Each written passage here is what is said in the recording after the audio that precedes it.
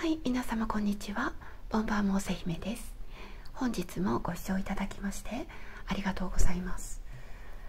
えっ、ー、と安倍さんが狙撃されたのが2022年の7月。うん。いつまで山上被告がね裁判も行われずに。うん。交流されるの？みたいな。ちょっとね不可解すぎますよね。ねあの人が。ねあの丸したわけじゃないのにね。ちょっと今政治ではいあの今日は山山上被告のうんちょっと12ヶ月の流れ。うんまあ12ヶ月見ていこうかなと思っています。カードが少し大きいのであの重なっちゃって見えにくい部分もあるかもしれないんですけどできるだけ見やすくそして分かりやすくお伝えしたいと思ってます。これはルノルマンカー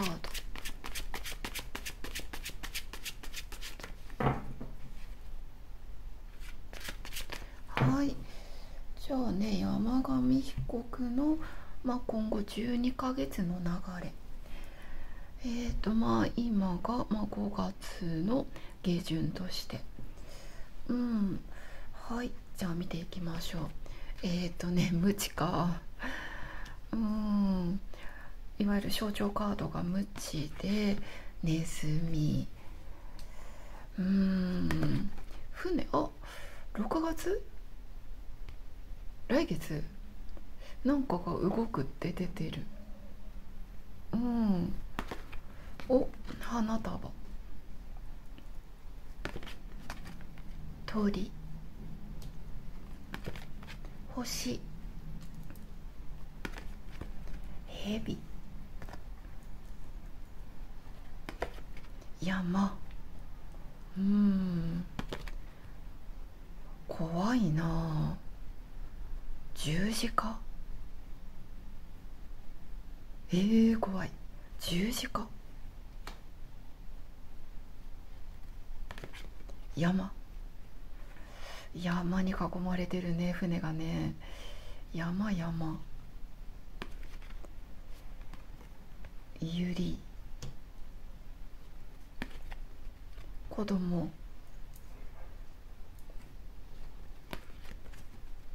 ライダー。じゃああと1枚ずつカードを出していきます。うーんムチと雲。うーん時間がねどれだけかかっても足りないみたいな。ネズミと星。船とゆり来月6月。うん。なんかあるかもしれない。動きがね船だから。うん。あるかも。まあちょうどね丸ね2年になるっていう、時という節目かもしれない、うん、本と花束。まあこの方えっ、ー、と山上被告はこう今でも何て言うんでしょう。こう山上さんをこう応援してる人応援する人から例えばうん頑張ってくださいとか例えばうん面会がね許されてるかわからないんだけどまあ面会とかね、うん、そういう感じで手紙とかそういう感じのやり取りはなんかできてるのかなっていう感じがしますね。案外女性に支えられているような感じがしていて。もしかしたらどなたかがいるかもしれない。うん。はいそして庭と鳥。うん。うんまた出た星と蛇。蛇。蛇とライダー。山と棺桶怖いな。うわ。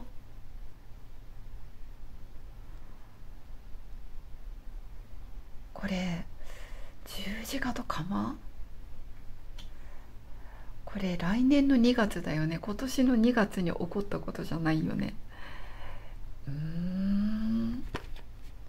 あこれがね今逆位置で出たんだけどこれが、ね、山上さんとするとやっぱ今も捉えられてるからうんこれ来年の2月かなゆりと道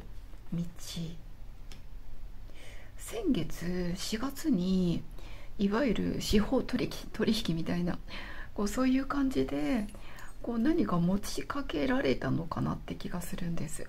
うん、でもこう山上さんからするとこう選べるような状態じゃなく、うん、今でもまあなんかねこう拘束されている。でも6月にようやくこう別の場所に行くとか例えばまあ裁判が始まるとか、まあ、そういう動きがある可能性があるのかなって思うんだけどその後がまた山とかね蛇とかなんかね出てるからちょっと怖いかな。そして怒りと子供。ライダーとコウノトリ。うん。はい。えーとお待たせしました。こうこのねヘビヘビもちょっと嫌な感じがするんだけどうんするんだけど、うん、まずここの6月に、うん、何かね動きがあるでしょうというふうに出ています。でも動きがあったとしても78っていうのはまた同じような、うん、特にね、まあ、7月がなんかイメージ的にはなんか独房的な感じがします。なんか今よりももっと辛いみたいな。で7月何かフェイクニュースを流されるような感じがします。うんでも9月山上さんにとって、まあ嬉しいニュースが入ってきそうな気がする。でもその前後にはこういろいろな裏があるような出来事がたくさんあるから気をつけてと。でもしかしたらこのね11あ12はダメだな。11から1、まあ、特に1月かな。こうようやくうーんまあこう仮釈放というかなんかこう飛び立てるような気がするんですよ。でも恐ろしいことに2月なんか丸されるみたいな。外に出た途端に。って思うといやむちゃくちゃ怖いな。なんか罪をなんかねなすりつけられたりとかうーんしそうな気がする。大きな環境の変化は6月と6月と1月か。6月と1月なんだけどこのね彼にとって厳しいのが今も厳しいけど7月うんそして12月がね夢がまだ叶わないって出てるんだけどなんか1月に早々叶うような感じになる。